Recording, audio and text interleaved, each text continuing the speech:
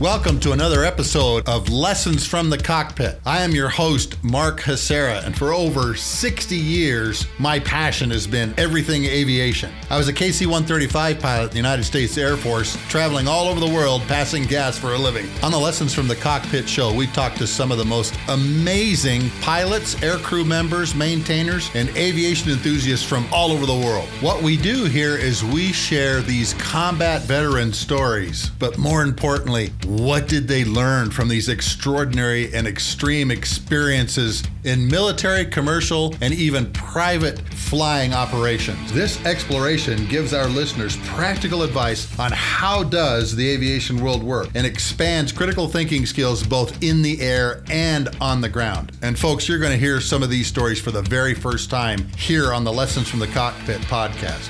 The Lessons from the Cockpit show is supported by Wall Pilot custom aviation art for the walls of your home, office, or hangar. These are extremely detailed prints on vinyl that you can peel off and stick to any flat surface. I invite all of you to go take a look at the ready to print section where there's 123 ready to print modern jets, propeller driven aircraft. We even have some airplanes from World War II. And we've recently started on helicopters, Apache, Chinooks, and Sea Kings. We also do custom aviation artwork in four, six, and eight feet with your name, unit that you flew with, tail number, even the weapons load that you want put on all of these airplanes. So please go take a look at wallpilot.com because that's how we are financially supported. Once again, we are going to talk with Royce William. He called me on the phone and says, Hey, I got more to talk about. Naturally, I've invited him back. So grab an adult beverage of your choice, sit down, strap in, and let's talk with Captain Royce Williams, MiG Killer, on the Lessons from the Cockpit show. Royce, how are you today? It's good to see you. I'm uh, very good. Thank you very much. And thanks for being back with us today because uh, you mentioned you had a bunch of other stuff you wanted to talk about. And, and uh, well, I uh, get uh, interviewed and usually they want to talk about an hour and 35 minutes out of a 37 year career. yeah. and there were other things besides that hour and 35 minutes. Well, you mentioned too about commanding a ship and what, what that was like. You know, what type of ship were you commanding? Tell us what you were doing. Uh, a career in the Navy, if you're lucky, you at some point will probably get command of a ship, make you feel like a real seagoing sailor. I was very much pleased to have screened for a uh, for a ship, mm-hmm. and uh, I, I, liked it very much. I thought it was a feather in my hat. It was the amphibious flagship for the Pacific Fleet, and as such, it was home for admirals, commodores, generals, and etc. And the ship provided excellent space, uh, all, all, of the services of a hotel, plus a, a fantastic uh, com- communication. What was the name of the ship that you commanded? You said it was an amphib- amphibious ship. What was the name yes. of it? USS El Dorado. It was very famous in World War II, especially Okinawa campaign. It was the flagship for that. Uh, oh, Operation Iceberg. Yeah.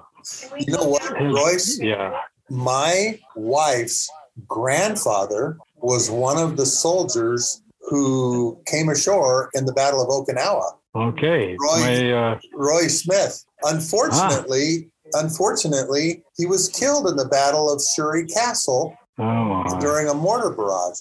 And, oh my, yeah. And was buried there.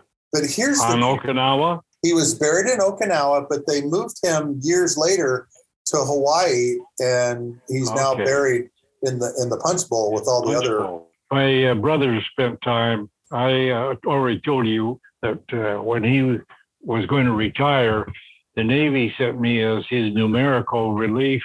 So I arrived to retire the next day, having uh, and he stayed on for ten years running a swimming pool business. And uh, as such, he he loved it out there, and he uh, his wishes were for him to be buried in the Punch Bowl, but uh, he died uh, two Fourth of July's ago, and Mhm. is buried at Miramar. Oh, I, I didn't know that they had a cemetery at Miramar. Yes, yes, it is, is uh, quite the deal. It's really coming and uh, well recognized as it should be. But they ran ran out of space out on Point Loma, so Oh, yeah, there's a lot of folks buried out there. So. Royce, tell our listeners what an amphibious ship does and why all of those different groups of people are on board. Well, it's really in support of going ashore for whatever purposes, uh, setting up bases, but it's primarily known for supporting of the marine amphibious operations of going into beaches and uh, the support they need of uh, gunfire and uh, service of all types of food and and continuing in the way of fuel and everything ammunition that you need to establish a beachhead, make it American territory for a while. How many Marines do you have on board uh, the El Dorado, the amphibious ship El Dorado? Well, uniquely, I had uh, very limited. I had my own detachment, which belonged to the ship. But when a Marine general had his staff on board, he was backed up with all of his staff and support people. So probably 40 at least. Uh, the ship probably had around 400. But And when you guys would go out to sea with your full complement, there's a you know 1,500 to 2,000 people on board, isn't there? Uh, close to that. Yeah, yeah. I, I wish I really knew, but uh, once upon a time.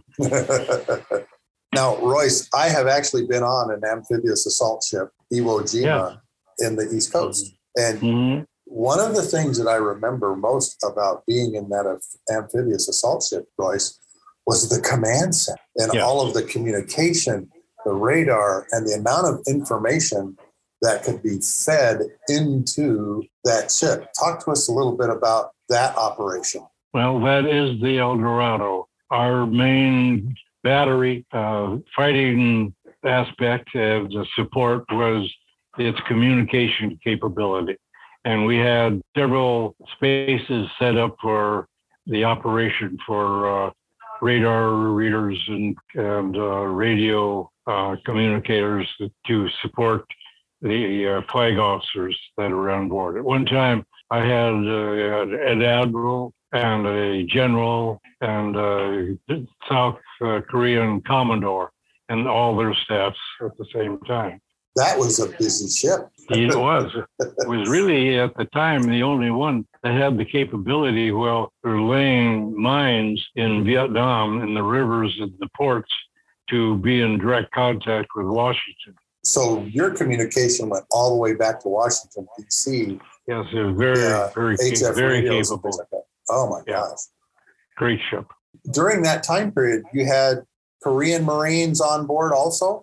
uh, as a part of the Commodore staff, but not uh, amphibious personnel. Okay. The our fighting forces were running the show, not uh, riflemen. Royce, tell us what you do as the captain of an amphibious ship and what you're in charge of, because this is really an amazing thing when you think of a Navy ship and all of the different departments that are on board, and you're commanding all of them. Yes, uh, and uh, so uh, I have a specialist with uh, each department.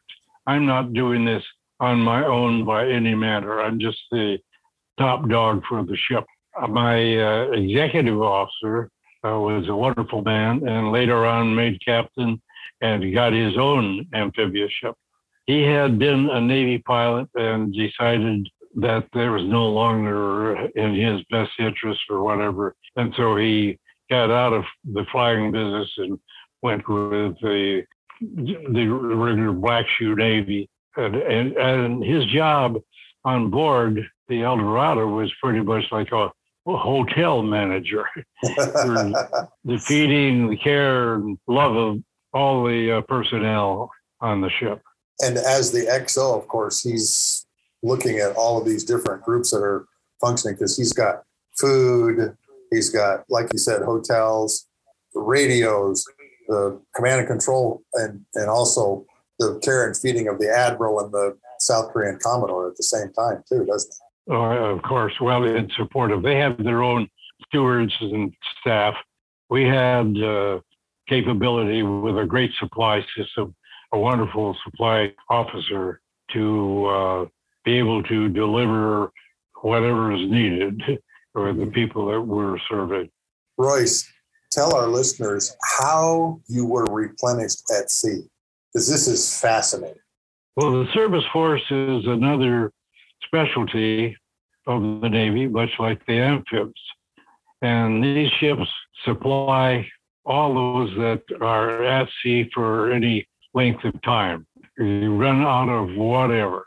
It's amazing the maybe millions of parts and stuff that have to be on board and ready and serviceable to deliver as needed. The way you do that is each ship uh, drives alongside of a supply ship, an aviation fuel ship, uh, oiler for the uh, the engines that run our ships, the, the, food and clothing and all that. And in addition, of course, uh, you're taking care of mail and uh, normal needs of life. And they have. I, I'm just amazed of all of the things they have, especially on an aircraft carrier where you have several types of airplanes and all of them with many, many parts that are disposable and need to be replenished. It's, a, it's an amazing operation how well that works. And so you have two ships next to each other, steaming yes, on the same heading and the same speed, with yep, things passing yeah. between the two of them. Right. The supply ship sets up a course of speed, and the ships have been delivered fly formation on it, so to speak, mm-hmm. as, as, an aviation term. And uh, you send things back and forth by a series of cables that are attached to high points on each ship. And then through uh, pulleys and so forth, you hook up what you're going to send, and probably either on pallets, uh, wooden uh, nets, or in their own bag, pass it to the other people. If they have something to be sent back for rework or something, they probably send something back for uh, the other ship to to handle uh, the supply people. Uh, oh, it's augmented and in a very important way today. The supply delivery is by helicopter, so you don't have to be really in formation. But usually that part of it is going on at the same time. You're sending it over by cable and you're delivering also by helicopter. It is yeah, the yeah. most amazing thing you've ever seen. Well, not only that, that's just uh, once it's delivered, now it has to be placed in its appropriate spot to where it can be redeemed, picked up, and given to the needy people on demand. Uh, this is not easy. You got to keep track of every nut and bolt. Well, and the really amazing thing, Royce, was we were taking on fuel, lettuce, and bombs yep. at the same time. Absolutely. One and point- they all have to be properly stored. And some of it requires refrigeration. Some of it requires elevators to uh, deliver bombs to the airplanes. It's a it's an amazing event not only were we hooked up by wires, Royce, the helicopters were uh, moving stuff back and forth too. The the, the CH 46s or 47s, I can't remember which.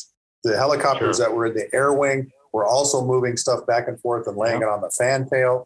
You know, it was just amazing to watch particularly for the we were hooked up for six hours royce we took on 1.2 oh, yeah. million pounds of gas and of course when you're moving the gas around you have to worry about the weight and the balancing of the weight inside the, the ship too so there was well, a lot of planning that went on before and this. and the safety safety mm-hmm. is always a major concern and since that's part of what's going on you have to be prepared to fight fires I had been on the John F. Kennedy for a couple of days. The cod broke and they were underway replenishing.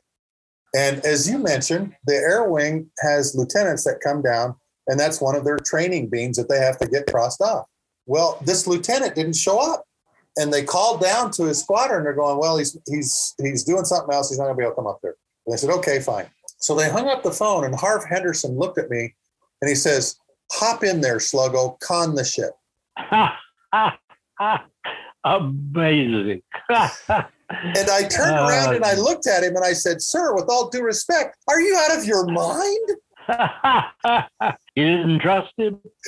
I said, He Are you you." really going to let an Air Force guy, tanker guy, Yeah. drive the ship yeah. while we're only 180 feet away from another ship? And he says, Sluggo, Amazing. it's just like you mentioned, though, Royce.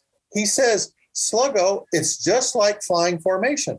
Keep that blue line Yeah. right there, and every 20 minutes, increase the inboard screws 1% as we take on more fuel to stay at 18 knots and keep your heading at 275.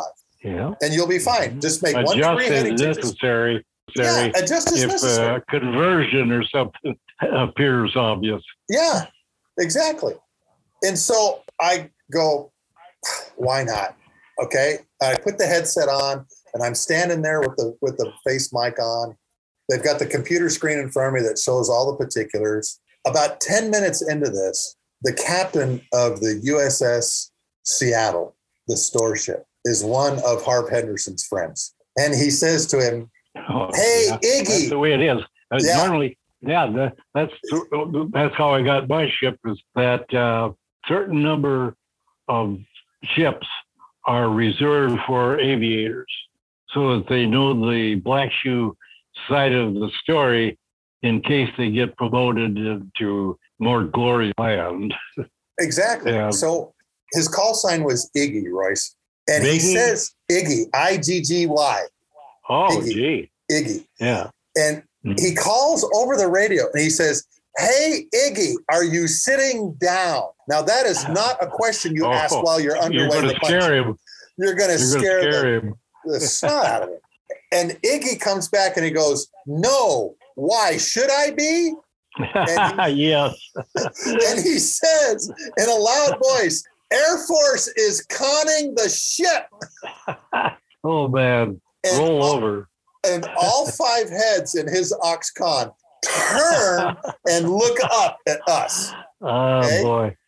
And there was he's, he's he's flying on you, so don't deviate. Don't cause him problems. exactly one of the sailors in the aux con had a pair of binoculars, and he turns and he looks up at me and he's pointing at me because he can see me in the aux con. Yeah, sure. And I lean out the window, 14 stories up, and I wave to him. yeah. I wave to him, and they're all pointing at me, and, he, and he's like, "Nothing good can come from this." Okay, but I got to do it for 50 minutes, and finally, he says, "He says, well, well, Sluggo, what do you do?" And I says, "Well, I'm an Air Force tanker guy. I'm in charge of all air refueling uh, here in the Middle East right now at the Prince Sultan uh, Air Operations Center." And there's this silence, and he goes, "We love tanker guys." there you have it. Always being observed, but they're awfully good. They they catch on real fast because if you can fly a wing at uh, you know 700 miles an hour, you could probably fly a wing at uh, 15 knots. yeah. He, he gave me a, a little bit of instruction, and, and you're right. Just keep the blue Yeah. line on your shoulder. And he said, increase the screws 1% every 20 minutes as we take on gas. But that's Yeah. basically all he told me. yeah, well, it's a you're a highly motivated. Watch detail as they develop. Now, one of the interesting things I found about this, Royce, was the auxiliary conning towers are these big wings that kind of hang out over the ocean. I'm imagining the El Dorado had the same thing, these aux cons that you would sit in your chair and watch this kind of stuff go on. Is that correct? Well, each ship is designed differently, but uh, they have to accommodate all of the aspects that the ship's designed and directed to do. And uh, a lot of that means visual. You have to be able to keep track, react. So Yeah. eyes are important. How often would you have to do this Well, dependent, of course, on uh, on the situation? Yeah. in combat quite often, uh, beans and bullets. and, uh, they've got to they've got to be brought aboard and uh, stowed and then ready to de- deliver. So maybe in heavy combat, it might be every three days. Uh, if you're just steaming, maybe going from San Diego to Yokosuka, it, it might be a week or more. Now, you said something a few minutes ago that a lot of people in our audience probably will not understand. And I'm going to have you explain this the difference between the black shoe Navy and the brown shoe Navy. Well, aviation uh, was new to the Navy starting in the early 1900s. It's feel your way. And are you really going to have them serve on ships? Goodness. Well, that took some study, innovation, and remodel to make it all work and fit. So they just tagged the people that were involved with aviation as brown shoe. And indeed, we were, uh, most of our uniforms were compatible with and uh, designed for the uh, individual who wore brown shoes with that uniform. Uh, of course, we also had black shoes for when we uh, wore our blue uniforms.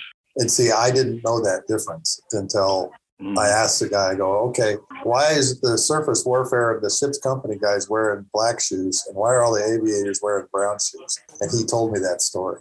Yeah. Which I thought was, and that is one of the rich traditions of the Navy, the brown shoe yeah. versus the black shoe. And, and you can tell an aviator right away.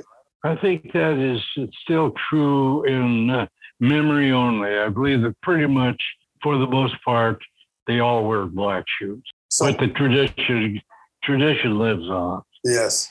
As a commander of a large ship's company like that, Royce, you're kind of like the CEO of the ship. What kind yeah. of lessons learned would you give to somebody like in business or somebody running a company that's a CEO that you learned from being a captain of such a large group with such diverse roles and missions? frankly, what you learn is you don't know it all, and you have professionals that work for you, be happy to make you happy, and you rely on them. You do an awfully lot of evaluating, uh, after a while, learning to trust your own senses.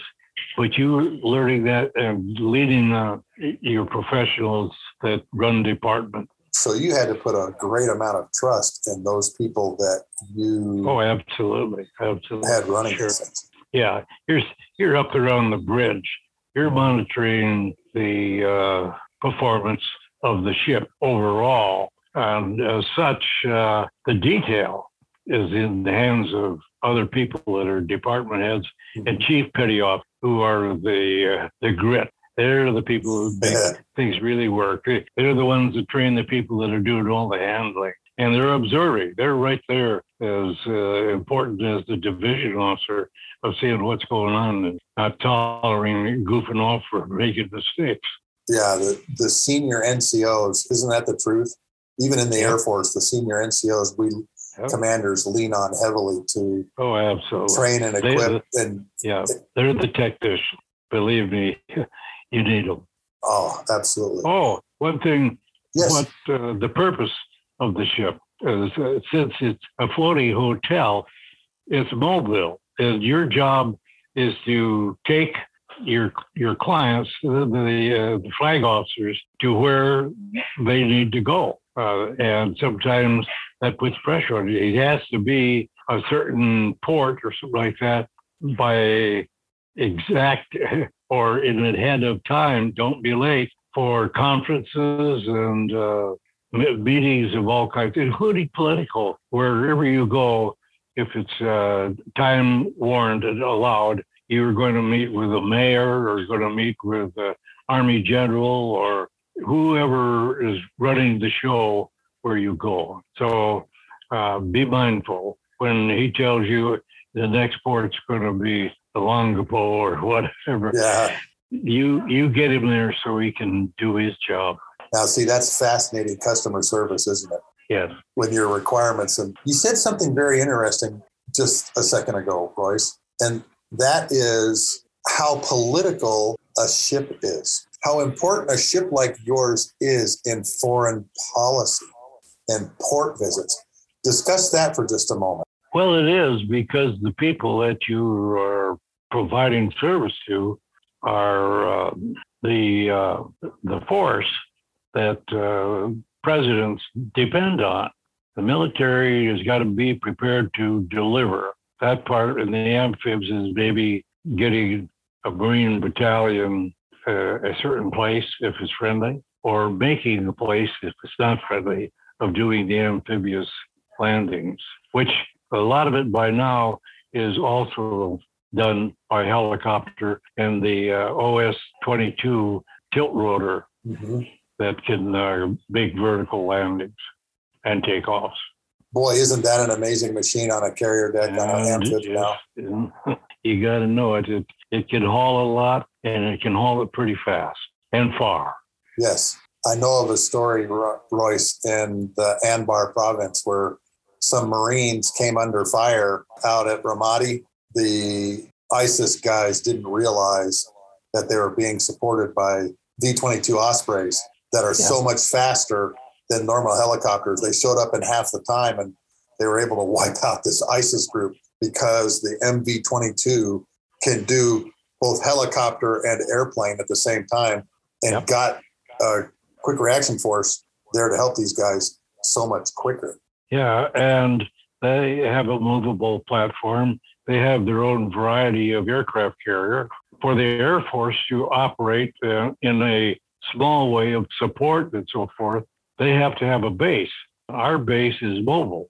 That's a, a big factor, uh, especially if you're going to a place we've never really uh, worked with before. You you got to set up shop, and we can. And you can do it very quickly, and and you can get people from ship to shore and back. Royce, I remember a story from Hurricane Katrina, and I heard this from the admiral who was commanding, where they took one of the big large deck amphibious assault ships into the Gulf of Mexico right behind Katrina and set up uh, the mobile hospital Absolutely. You know, our our hospital ships are amazing. And even just the ship itself, I remember when the New Jersey, I believe it was, battleship went into, I think it was the New Jersey uh, city that lost all of its power. Mm-hmm. And the ship provided uh, electrical power for the city. Yeah.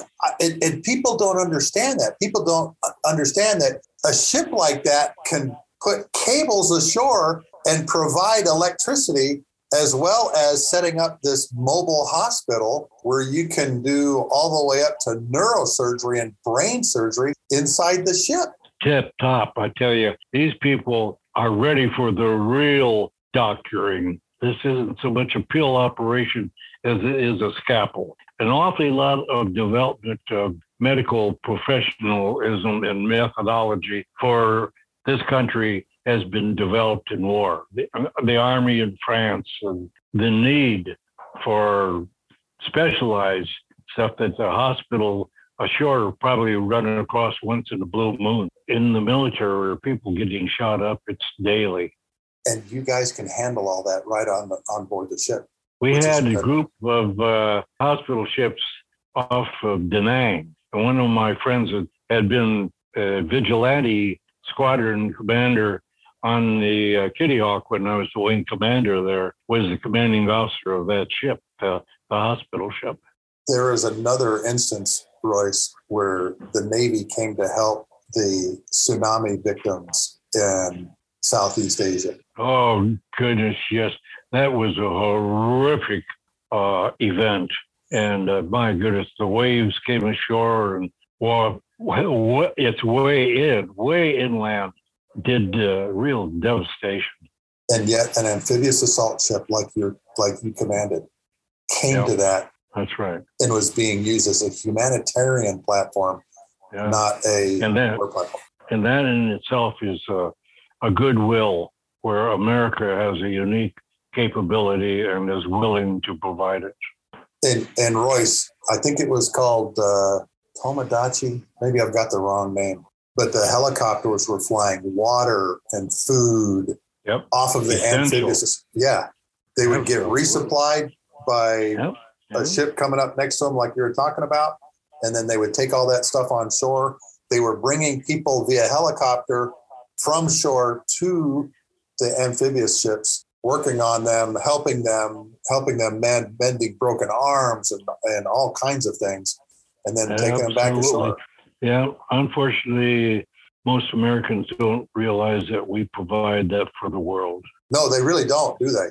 They see a big ship like that, Royce, and they understand that Marines go out the back, but they don't understand the, that we can take and project naval power anywhere in the world, but not for war purposes, but for humanitarian purposes at this at the same time.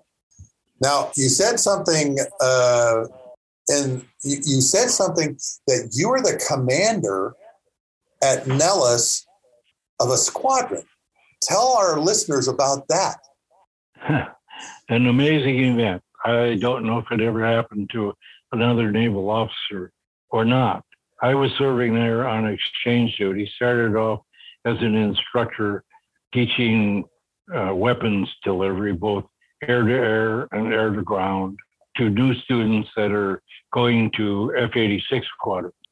The next step, they took me on the colonel staff for the uh, flying group doing all the training. And as such, I had a, a, chance to get involved in the high level stuff. And uh, fortunately, I was probably Navy prepared to handle some things that just weren't uh, comfortable for the Air Force.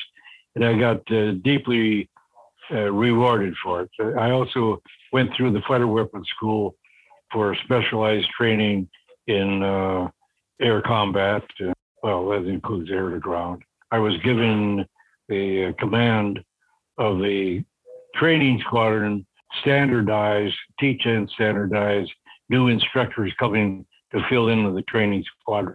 And as a Navy junior officer was amazing because I was a Navy lieutenant equals Air Force captain all the other commanding officers were majors and lieutenant colonels. And I, I was just blessed to step in. I didn't have it very long because I was then sent back to Navy duty down at El Centro, doing pretty much the same thing, instructing in the Fleet Air Gunnery Unit, predecessor of Top Gun, with uh, the teaching of tactics and uh, weaponry. I, uh, I see on your coffee cup that you have an F 86 and it looks like it's shooting down a MiG 15. It is. Yeah. uh, here it is. Oh, that's fantastic.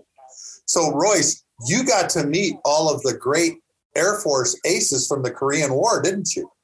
Yeah. At this school, because Boots Blesse and all those guys came through that school. Yes, and he was a commanding officer of the 96 uh, Trading Squadron flying F 86s.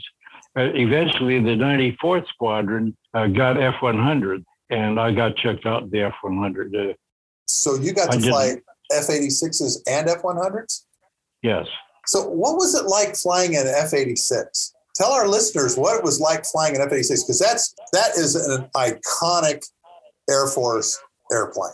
It is. And uh, at that time, he was the best fighter we had. And uh, we were moving into afterburner type aircraft uh, that would uh, exceed, succeed it. This was the performer of the air-to-air part of the war in in Korea, except for my one uh, incident.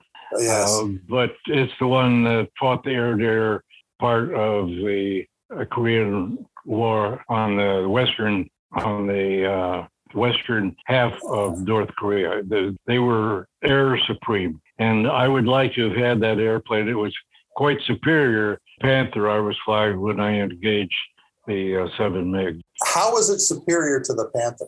It had a flying tail. It could uh, fly faster. It uh, could go uh, supersonic, normally not. Uh, maneuverability, power, climb, turn, everything you want in a fighter. It was just uh, cut above. Yeah, and you had mentioned too that they went from 50 caliber guns to the 20 millimeter guns in the F-86 yes, also. Yes. But they were also fighting the uh, Russian developed MiG-15, which in several regards was superior to the F 86. In, in what ways, Royce? Was the, was the MiG 15 better? Well, it had a flying tail, which made it a hydraulic controlled. A pilot didn't have to overcome the uh, forces on the uh, flying controls. Yes. And as such, it could get up to near Mach 1. And it was important because the MiGs could fly higher and they would sit above the MiGs and choose the time uh, above the 86s and choose a time to engage. So, good heavens, say if things were in my favor and I'm now going to start the fight. Other than that, they could just stay at 55,000 feet, observe, and go back home if they wanted to. But in doing so, we learned that the MiG, not having a flying tail, could be drawn into high Mach numbers and then having the pressure on the pilot to where he had the manual control and you could draw him on down thinking he's going to get a shot at you. He's coming in out of range at your tail, about to pounce you. Uh, and you just draw him into that, and then you pull a hard turn or pull up abruptly, and he can't handle that. And your airplane with the flying tail climbs tight inside of him, and he just slides right on by, and then bang, you're on his tail.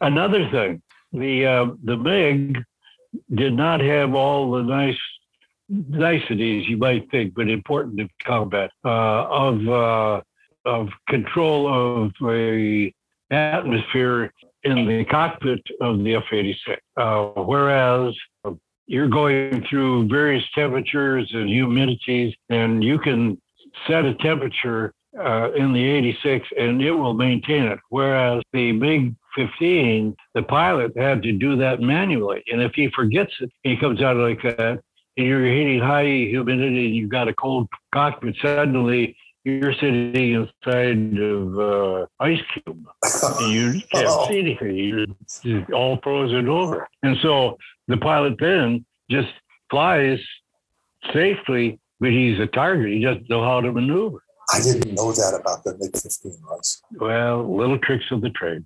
Oh, isn't that the truth? And 55,000 feet, that's way up there, Russ. I it mean, that's those days. way up there. I went, I went 76,000 feet once. 76,000 feet in what? What were you flying? A Phantom. Oh, now that was, that had a lot of power, didn't it? Yeah. It, it was a Mach 2, twin engine, a lot of power. Of course, mechanical care of the pilot, of control of uh, temperature and pressurization. On this particular time, that was my mission. So I was flying a moon suit, a pressurized yes uh, suit. So that I was just uh, going to ask that. So if you lost pressurization in the cockpit, the suit itself provides the pressurization, your ability to survive yeah. in those conditions. So and I did that doing? once I got there. Uh, I have I was just uh, playing games with myself to see if I could do it. So I was prepared. so I go a Mach 2 and then pull back on it, full afterburner, and climb just as high and fast as I can. And I reached that altitude, and that was it. I thought, okay, so I dumped pressurization, and uh, the the moon suit uh, popped, and my arms are now working against pressure in the oh, suit itself. No. Oh no! it was just for fun just because you hadn't been to 76,000 feet, huh? Yeah, yeah, yeah. That's basically it. so, what base were you operating out of? Where did you take off out of when you did this? I don't know. I don't know if it was uh, uh, Norfolk, uh, uh-huh. where uh, I was.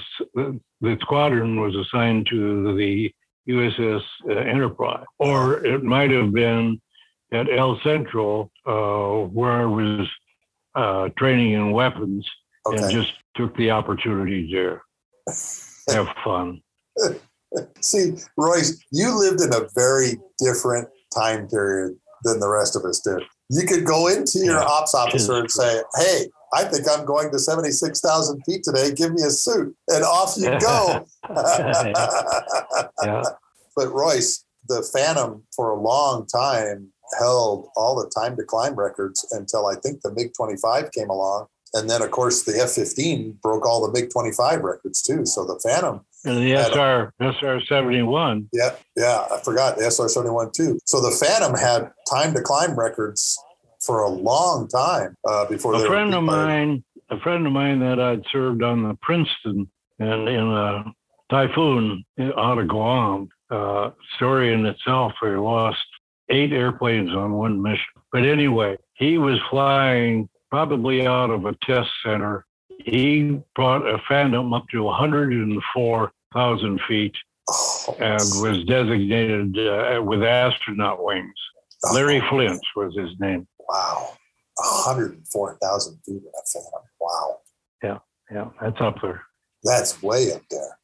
You know, I mean, that's operating above the U 2 and the SR 71s. So, Royce, tell all of our listeners what does the Earth look like from 76,000 feet in your Phantom? On a clear day where you see the Earth, it uh, you see absolutely the, the, the planet is round. You see the curvature of the Earth and itself it's not that distant in miles wide uh, and you get a, a, pretty good look at uh, the next couple hundred miles or so and it's just just amazing. It's what you see with the pictures that the astronauts take uh, on a little lesser scale because they really go up. There but what a what an incredible sight that must have been. Because mm-hmm. Uh, you and i have both had those flights where you forget about flying and you're just looking at your surroundings going man. Stunned. Yeah stunned you know? And and you you honestly look at what was it the apollo 8 astronauts that were reading out of genesis when they're looking back at earth for the first time and they're saying yeah. you know look at what yeah. god has created. that was i i i like that aspect of that flight. To recognize god did it all. We're just a speck. Isn't that something? And that was the first time pictures had been uh, that I remember of pictures being taken from the moon looking back at Earth and, and them talking from Genesis and yeah. so forth. And I, I know that was Neil. I think that was Neil Armstrong. I think you're right. Who I got to meet. Yeah, I got. Oh, did you? Him. Another and some of the others. an amazing guy. You know. Yeah. Nice. Buzz. Buzz Aldrin's the only one uh, left alive from that crew. Mike Collins and Neil have both passed away now. Wally Schirra, all those guys. Yeah, I knew Wally fairly well. Alan Shepard was also a Navy uh, test pilot too. Did you know Alan Shepard? The first. I didn't know him, but he started the program and he made admiral. Yes, he did. He did. Royce, you mentioned that you went to El Centro and you start the Navy's weapons program. Talk to us a little I didn't, bit. I didn't start it. I just took it a little further and I instructed in uh, tactics, and that was new to the program. Other than that, it was basically a uh, air-to-air gunnery program for the fighters and for the other aircraft, ADs, uh, F9, F8, basically air-to-ground rocketry, bombs, strafing. Whereas I'm primarily shooting at air-to-air uh, banner targets. Mm-hmm. So you mentioned but ADs. The part I brought, I was a, the ground school instructor for air-to-air tech. Now, Royce, during that time period that you're the tactics instructor, are you allowed to talk about what you did over North Korea with the Russian MiGs? Are, are you still having to keep no, that quiet? Well, I could say what the lie was that was put out there, in which I tended not to, uh, because I was sworn did not reveal the truth, and I didn't for 50 some years. That was not my discipline was to avoid it, but what was revealed or dripped up, I could uh, talk about that, but I chose not to. It wasn't true. Yeah. But see, I imagine, Royce, a story like yours spreads very quickly. So people knew who you were and what you did, but they just didn't talk about it in real time. Well, they didn't. They didn't really know that who I was or what I did. It wasn't really anything. I didn't talk about it, and it was basically a dead deal. There was some mention of it. Actually, uh, it just uh, died its own death. Interesting. Now, you mentioned an interesting airplane, the ADs. We call the A1 Skyraiders. That is a very big airplane for a prop driven airplane, and it carried well, a lot of weapons It was magic. It could do everything the B 17 could do.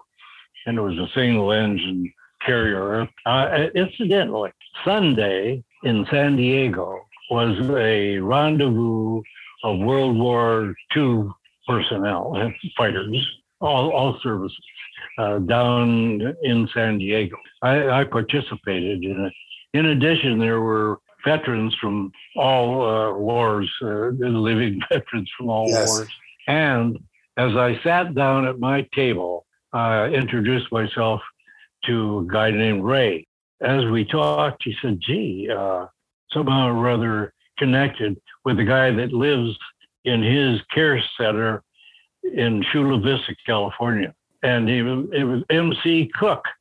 Well, he was my AD skipper when I was the wing commander. A wonderful guy. He oh. made vice admiral. His last job was superintendent of the Naval Academy. So that's a school, and he came to San Diego to retire. And at that time, the, the consular, whatever he's called, the head of National University retired, and this had somewhat to do with the background that Ad, the Admiral Cook had learned at the Naval Academy, and he stepped in as the the new director of uh, National University. I think for two years or so before they got uh, another e- elected or selected uh, uh, person to run it. Wow, he took that on board and ended up calling back to his home to his home number, and I talked to MC's daughter, which uh-huh. uh, was sort of dazzling and reconnecting, and I, it was a wonderful moment for me to be back in touch with MC. When was the last time you'd seen MC? About three years ago, I was going to a play at Lord's Well, and there he was in a wheelchair, escorted by three of his daughters. and oh, uh, there, and we met. You know what? I probably need to have MC on the show, interview him. Oh, wouldn't that be yeah? Fun? I don't know about the frailty of mind yeah. and so forth. Yeah. Uh, but uh, I imagine he could uh, hold his own, and he's just a great guy. The way he uh, carried out his role as the prop heavy weapon delivery guy in Vietnam was an, an, an amazing thing. Oh, I'll bet it uh, was. He, he, was just a giant of amongst people. I, I, I like the guy very much. You know what? CJ sent me a video uh, of you in your wheelchair.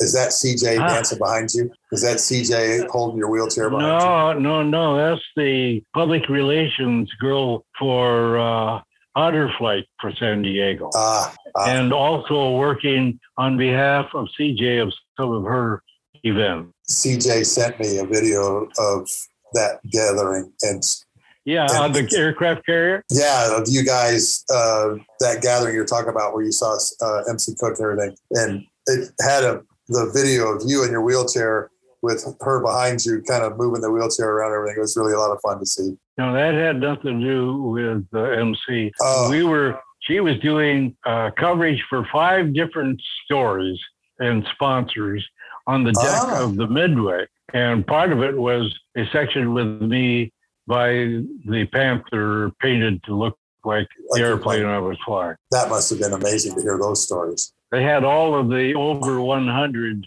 uh, survivors there and uh, carried a news coverage shot of a, there were about at least six of them. The oldest 106, oh. but there were several at 101 and 102. 106 years old?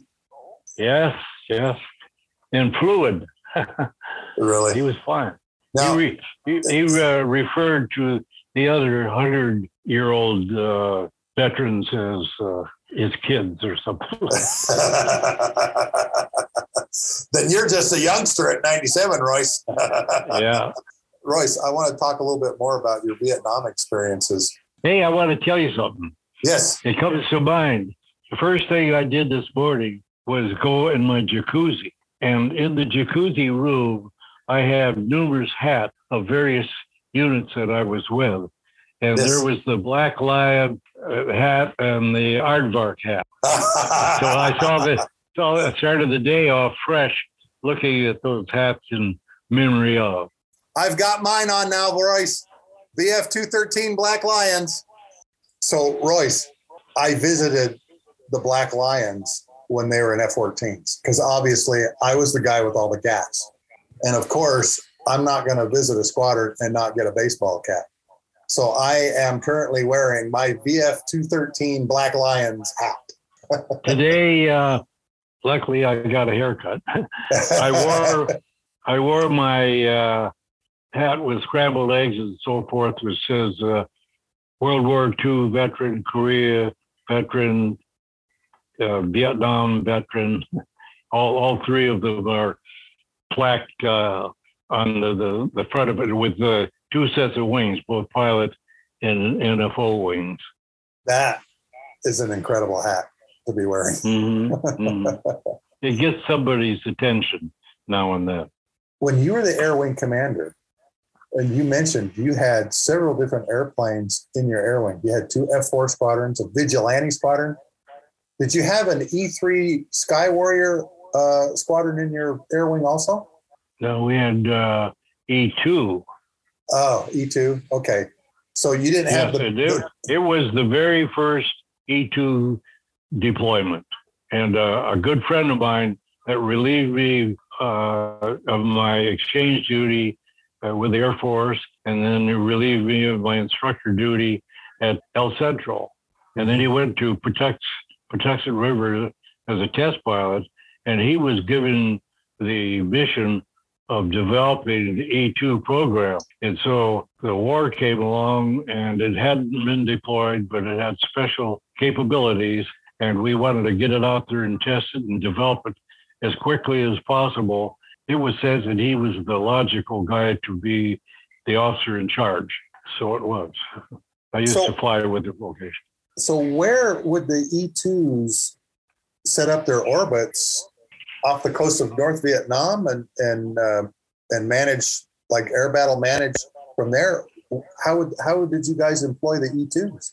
It was new, and we didn't know really what all it could do, but we could pass on to the ship and their CIC the radar capability 200 miles beyond wherever the airplane is. It could be 200 miles from the ship and then pass data 200 miles from there back to the Combat Information Center. And they could control aircraft or they could just pass the data to have it controlled by your ship.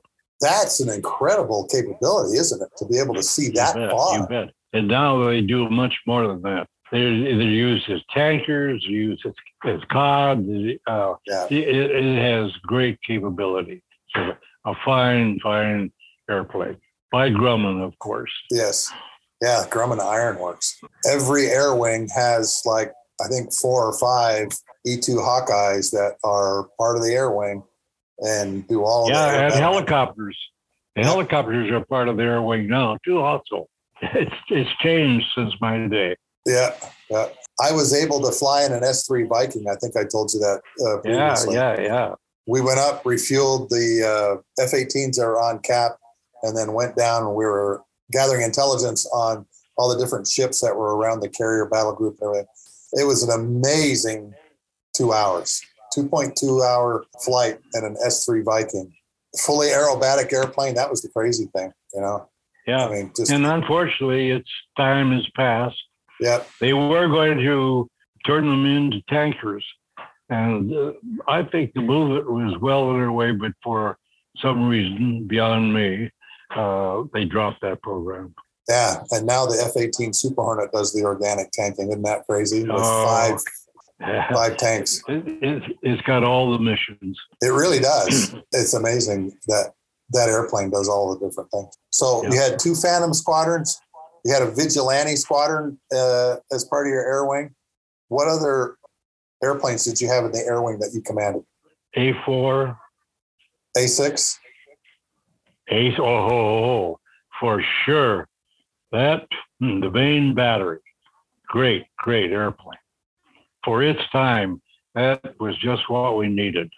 Oh, that's right. The squadron was called the main battery, wasn't it? I forgot. I, I don't know about that.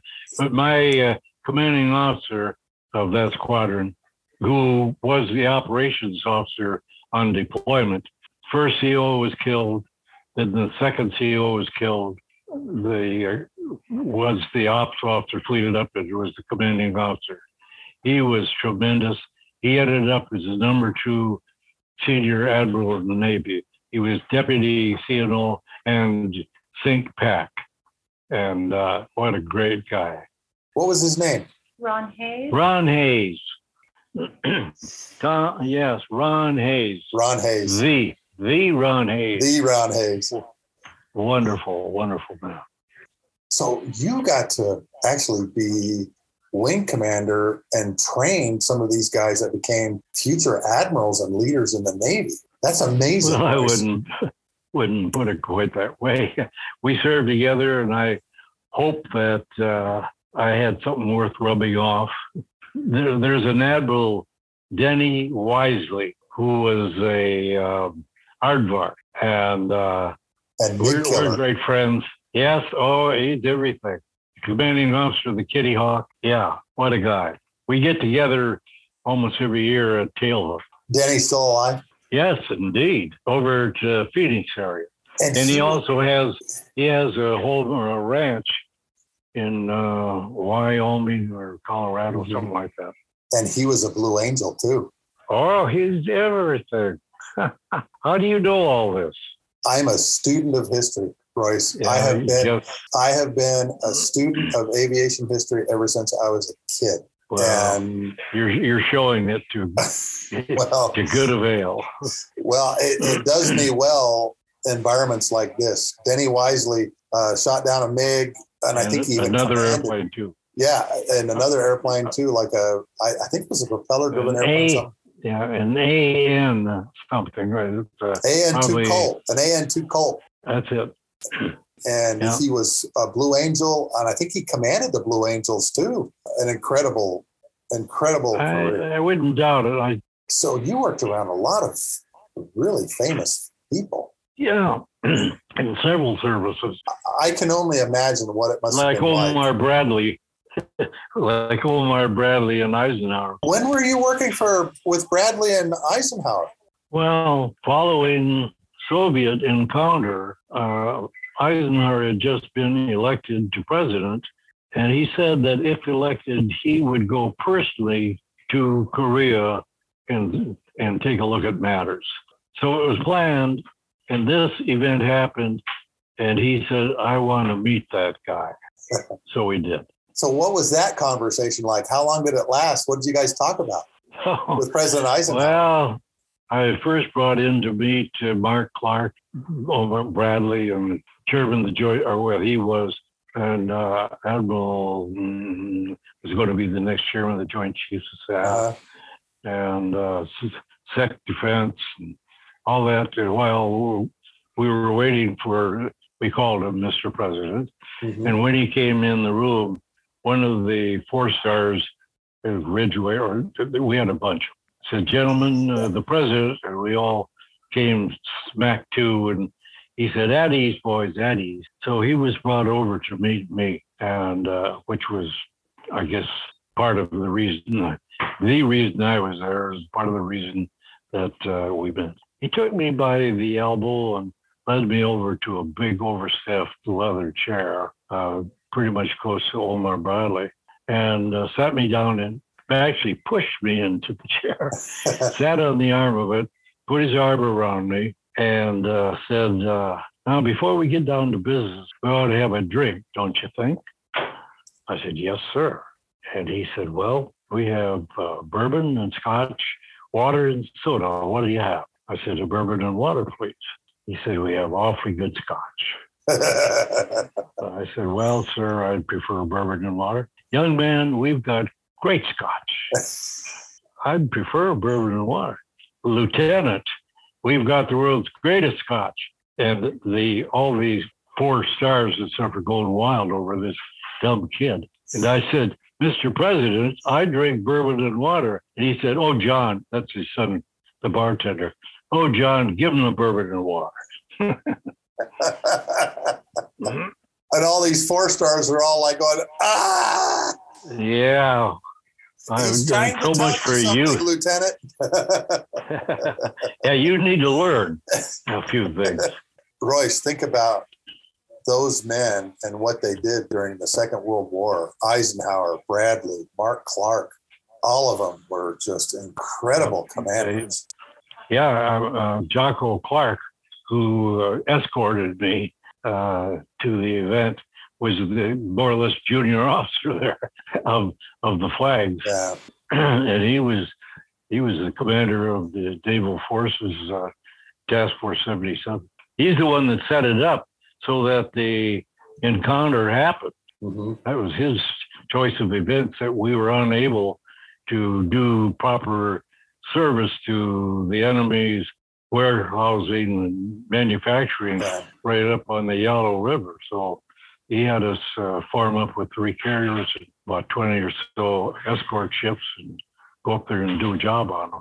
I'm assuming this this happened after you'd shot down the MiGs. All of those people in the room probably knew your experience, didn't they? I have no idea. We didn't discuss it. They knew, I'm sure, and I think they knew that I was sworn to not talk about it, and they didn't tempt. didn't tempt you. That's funny. so how long were you in the room with them? What happened after that? Did they did they just talk to you for a few minutes and then escort you out, or did did you get to stay in the room and listen to their conversation? No, the conversation was pretty much between the president and me, and uh, that probably lasted another half hour or something like that. And then they were going to dinner, and all of them had their aides there, and I was invited into a wonderful meal with the aides of all these important people. And then when that was over, Admiral Clark came and got me because uh, anyway, he wanted to see me personally. So I was taken to his uh, private uh, suite Mm-hmm. and uh, chatted with him. And the same kind of discussion, I imagine, with the president, with uh, much, admiral? uh, I think he wanted to know basically our operation, uh, probably how well we were trained, how uh, well was the Navy doing its job, and how proud how proud was I of being a part of it, and why he shouldn't be proud of running the show. did he ever ask you about things that you thought needed to change to make uh, the carrier battle groups more effective, or do more effective operations in the war? I don't think so. Maybe with Edward Jocko Clark. because we spent time flying from Busan to uh, Seoul Yeah. in a 747. So we uh, sat by each other and chatted.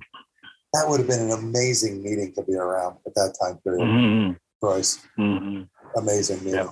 Uh, I think you mentioned that you spent some time in Washington D.C. Also. Uh, my mind just went blank about what you did Well- in Washington D.C. Not not in regard to this matter. No, Yeah. but I was later in your of my career. first when my first assignment in Washington was head of promotion plans for the Bureau of Naval Personnel. My next assignment there was uh, OPO 5A, uh, Executive Assistant Senior Aide to DCNO for Air, Admiral uh, Connolly. And I was there, oh, less than a year when uh, Sybil Stockdale, wife of Admiral Stockdale, well, he was commander at that time, and he was the senior prisoner of war Yes. and there's a whole lot to be said about that that I got involved in because she was meeting, as she sometimes did, with the Secretary of the Navy, Chief of Naval Operations, Chief of Naval Personnel, Chief of Navy Air, and at lunch, she casually mentioned, if you don't take some Navy aviation captain who's been there and put his career on the line for these guys right now, you're not trying hard enough. Well, when uh, Chief of Naval Air, my boss, came by, my desk was right outside of his office, patted me on the back, says, "Gonna miss you, Royce." the next day, I was next day I was head of prisoner of war matters for the Navy, and had to start it from scratch and run it. And it was an amazing assignment. Oh, I can only imagine. John McCain, Admiral Stockdale, all these naval aviators. You know what, Royce? I got to meet some of these people at the 25th Vietnam POW reunion in Texas at Ross Perot's ranch. Oh, yeah, I, I met him at the commission of the USS Stockdale uh, here on the West Coast. Had a very pleasant uh, luncheon afterwards. At one time, he was thinking about recruiting me to go to Iran when they had the F-14s. Uh, it never happened, but uh, we talked about it. He was recruiting you to go to Iran and be like uh, point of contact with their F-14 yeah, squadrons. Yeah. Oh yeah. my gosh, that would have been a, that would have been an, an incredible opportunity. Well, some of my friends did did go and do that. Did they? Do you know T.R. Swartz? I've heard that name. Yeah, I've known him since the back in the '80s when I was uh, assistant air ops on the Independence. I, I was plank owner on the Independence station in uh, Brooklyn when it was being mm-hmm. built, and then I was sent to Rhode Island in charge of the 3,000 uh, sailors that were getting specialty training up there. Yeah, so from that, uh, then then we got the ship commissioned, and uh, the air wing with TR on it uh, was the assigned uh, air wing. I got to know him then, but I I know him very well since that time. Yeah, he's got an amazing story too. Oh so. man, yeah, he's uh, he's ejected a time or more, and uh, you know his yeah. main thing was he shot down a MiG with an A4 firing an air-to-ground missile. That's where I heard the name. Of he course. shot it down with a Zuni rocket. Yeah, that's right. The only person to ever shoot down a MiG with an unguided rocket. Do you happen to know Vic Vizcarra? No, but I've heard of him and I've heard of his son too. And so yeah, well, he's the movie maker. Yeah, he's the he's done incredible work on those movies too. His name is Mark. We would call him Viz. Yeah, uh, Vic was flying a 105 on uh, Route Pack One, and something happened. He was not shot down. Something went bad, and he punched out. Got rescued by a Navy helo and taken out to, I think, a destroyer. And so he spent a few days on the Navy ship, and I tell you, that's he loves it. He loves it. well, see, Royce, that's the crazy thing. My wife will tell anybody. Mark will do anything to get on board a, sh- a, Navy ship at sea. He should have been in the Navy instead of the Air Force. He'd rather be on a ship than in a tank. there you go, from wiser sources. I did it because I had to learn how our customers did business behind my tanker. And I learned so much by going out and being with the air wings. And I created, as I mentioned, the Navy portion of our KC 135 weapons school syllabus because I was the only one that had been on an aircraft carrier. And of course, going up to Fallon, I found out that you guys had a secret manual, you know, that is the Naval Strike and Air Warfare Manual, and we taught out of that. But I didn't. The Air Force didn't even know that publication existed until I went up there and started hunting around. And Top Gun was actually the validator for that section. We actually gave that portion of the syllabus to them and had them validate it to make sure we were teaching the right things. Well, guess what? What? When I was at uh, Nellis, Boots Blesse wrote No Guts, No Glory, which was the booklet, mm-hmm. pamphlet, manual for air to air fighting. And Royce Williams wrote the air to ground section for the Air Force. Really? Yeah. You wrote the air to ground section. Now, see, that's something that I have never heard. A wow. Navy guy wrote the air to ground portion of our weapons school's early syllabus. That's great. Mm-hmm. But you know what? You know that's that's good because you have to fight jointly. And we haven't been real good at that until after 9/11, I would say. Because all of the services you know, like the Route Pack system. Remember Route Pack 6A, 6B. The Navy had one portion of Route Pack 6. The Air Force mm-hmm. had one portion of it. When all of us should have been fighting up there together and going up mm-hmm. there and blowing things up. That's hindsight. Well, where we really were sticklers on that was SAC. I was in the meeting on the USS Independence with CNO, probably Chief of Staff Air Force, and backup admirals and generals, where we were discussing this because the uh, SAC decided that Navy wasn't necessary at all. We could they could handle the whole mission. So we we had our discussion. Things turned out as they turned out, but it was indeed a heavy session, and I happened to be sitting on the edge of it. So Anyway. Strate- Strategic Air Command came over there and said, "We'll take care of all this." oh, indeed, they were pressuring. We don't need extra service. Think of all the extra money doled out for lack of. Well, heck, yes, just fighting one another, you're wasting money. Yeah, and look how in linebacker, Yeah. the Christmas bombing campaign of '72, the B-52s were actually being protected by the A-7s and the A-6s as they Yeah, were going you know- at night. You know where the uh, B-52s came from? It, uh, that island in the Pacific that the Brits own. Oh, uh, Diego Garcia. Yeah, I think I already told you that, but I'm the guy that accepted their offer from the Brits for uh, u- use by the, air, the U.S. forces. No, you didn't tell me that story. Tell that story. Well, that that's the story. that's all there is to it. I, I was flown out there and I had a little discussion with people, looked over the uh, the grounds and all, and decided whatever we needed, the our Seabees could really fix it, and uh, it would be very suitable. Royce, I have flown out of Diego Garcia in a tanker. Yeah, well, I I flew out of it in a, a Grumman uh, something or other, twin engine, six place passengers, something like that. Yeah, being out of the flown cod. with- Out of the car. yeah, yeah, yeah. My uh, my admiral owned that airplane uh, when I was chief of staff, com for Westpac. Oh, Those were some incredible missions. I, I stopped there on the way up to Saudi Arabia for Desert Shield and then Mhm. actually operated out of there uh, refueling B 52s that were going into Afghanistan. And Yeah. Royce, I have never seen that many bombs on a trailer in my life.